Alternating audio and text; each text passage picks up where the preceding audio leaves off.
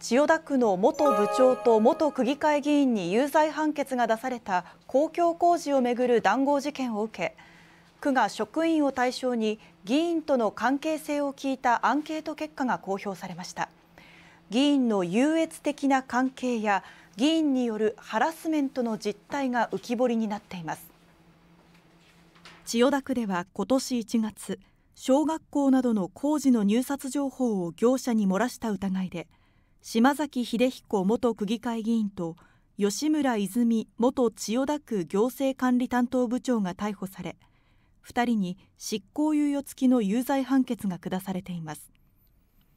この事件を受けて区は原因究明と再発防止に向けて係長級以上の職員およそ300人を対象にしたアンケートを実施し今日結果を公表しました。職員と議員の間には過度に濃密な関係があるんじゃないかということが明らかになってきたわけです。アンケートによりますと談合事件で秘密情報が漏れた原因について200人以上が職員と区議の関係性に問題があったためと回答しています。また議員から入札前の契約情報を求められたことがあるかという問いに対しては部長級の職員3人があると答えました。さらに区議から人事異動がどうなっても知らないからななどと高圧的な態度を取られたという職員が複数いることも明らかになりました。区議会とは建設的な適切な関係を築いていきたいそして職員を守っていきたい区はアンケートの結果から議員が職員に対し優越的な関係にあり職員が議員の要求を断りづらい状況があったと分析しています。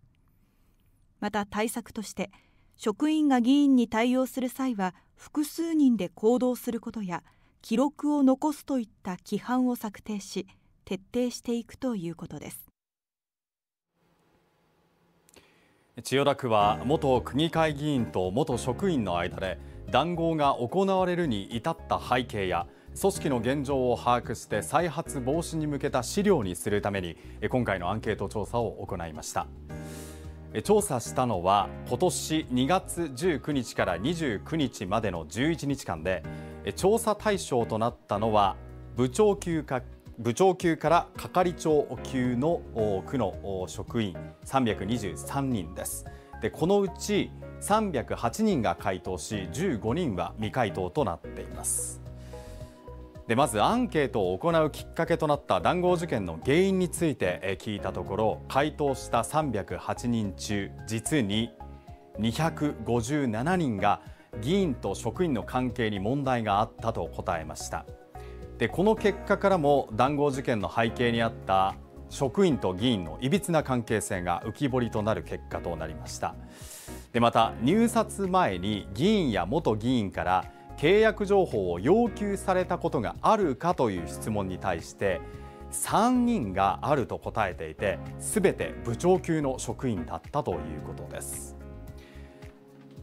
でさらに議員や元議員から嫌がらせやハラスメントを受けたかについては24人が受けたと答えました。でその具体的な言動について聞いたところ言うことを聞かなければどうなるかわからないと脅しのような言葉をかけられたり対応できない依頼を断ったところお前の人事異動がどうなっても知らないからなと言われた職員もいたようです。また挨拶をしても無視したり存在がないような扱いをする議員もいたということです。こうしたアンケート結果を受け有識者からは職員に対して議員が優位な関係にあったことが事件を助長したのではという意見や職員が不正行為への関与の重大性について認識不足だったのではという意見があったということです。区は今後の再発防止策として職員が議員に対応する際は複数人で行動し記録を残すこと職員への研修などの実施や相談体制の強化など組織変革に取り組むということです。